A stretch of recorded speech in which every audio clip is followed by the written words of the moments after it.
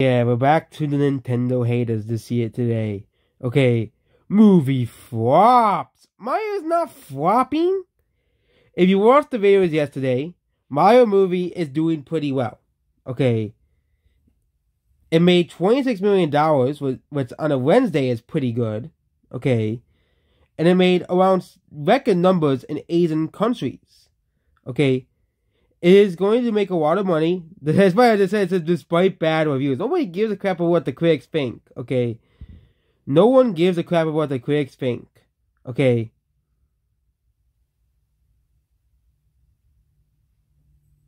Yeah. And this movie is probably going to do pretty well over the month as well, okay? Yeah, but yeah. Next to no games is oh yeah, they're releasing Zelda and Pikmin. Oh yeah, next to no games. Yeah, there's no games. Nintendo's making no games. Also, we we released Metroid Prime, and made we made Kirby Return to Dreamland, which I think apparently that game sold pretty well. Same thing with Metroid Prime. I think both games sold pretty well, and they also released a Fire Emblem game, but again, nobody. Fire Emblem has a pretty niche fan base, and Advance Wars is finally coming out this month. Okay, and there's probably more to be announced. Oh yeah, Nintendo's releasing no games rapidly losing sales to competitors. While the Nintendo Switch is an old console, the Switch has been around since 2017.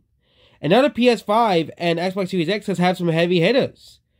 Not really many big games, but the Harry Potter game sold pretty well, and that was exclusively to the next generation of consoles.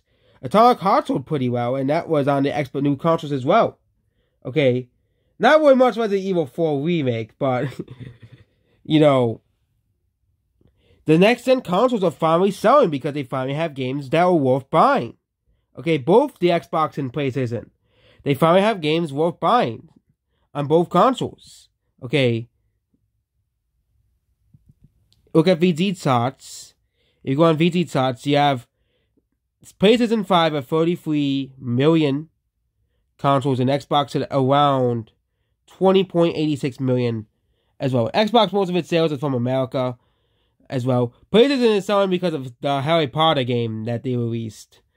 You know, obviously that game has been a big hit for Sony as well. And that game's not coming out to the Switch until July. Also, it's on the Xbox as well, but again, Xbox really needs to pick up the slack when it comes to games that are worth buying because they're gonna fall behind Sony really quickly. But Xbox is doing pretty well during the holidays. I think the only reason why is the, the PlayStation is selling so well is because of Harry Potter, the Harry Potter game. Okay, the Harry Potter game released.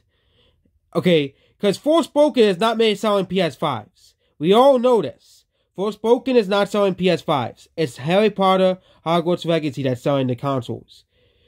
So, and I wouldn't have had any exclusive content. Okay, But yeah, the Harry Potter game is the reason why the PlayStation is selling so much. Okay, Xbox had a game last month, and apparently that game isn't doing that well.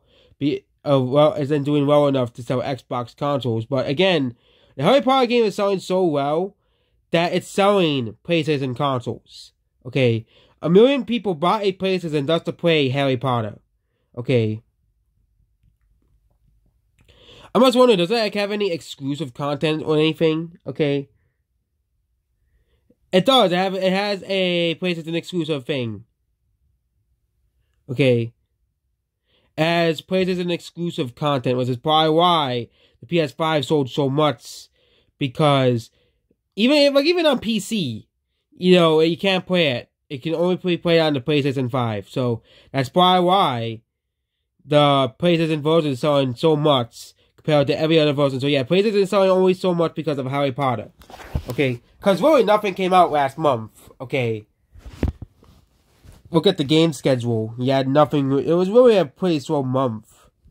But again, Harry Potter was still selling pretty well. Okay. This month we have the Star Wars game coming out. I don't know how. I don't know if that. I don't know if that game has exclusive. Con, you know, content. Again, I don't really pay too much attention to game releases. But yeah, PlayStation sold a wild consoles in February because of Harry Potter. Okay, April, you have, uh, what's coming out in April? Uh, you have the Star Wars game that was delayed. Uh, DLC for Horizon Forbidden West. Evil Dead the game. And Star Wars Jedi Survivor is coming out. And Resident Evil 4 Remake, I think, came out. Resident Evil 4 Remake came out like last month. Yeah, I think that came out last month, and I don't think anyone bought it. I think the fanboys of Harry of Resident Evil went to buy it, but other than that, no one went to go buy the game. But yeah, the PlayStation is actually getting like actual next gen games that are worth playing instead of the Xbox console. And yeah, Nintendo's either gonna have to release games that people are gonna want to buy, like Zelda and Pikmin, or they're gonna have to release a new console to compete with the next generation of consoles. That's basically what that's what basically what Nintendo has to do. Okay, Nintendo the Switch is an old console. Okay, the Switch has been dominating the console sales for years now. And now the other consoles are finally catching up to Nintendo. Okay. Nintendo Switch has always sold 120 million copies. PlayStation 5 has sold 43 million copies. Okay.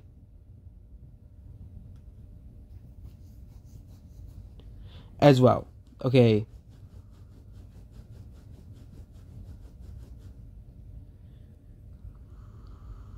And yeah, the PlayStation 5 has a lot of sales because of the Harry Potter game they released.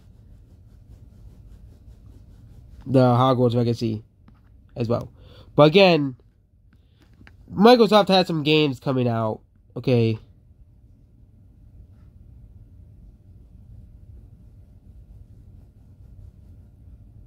And I suppose this video here. Goodbye.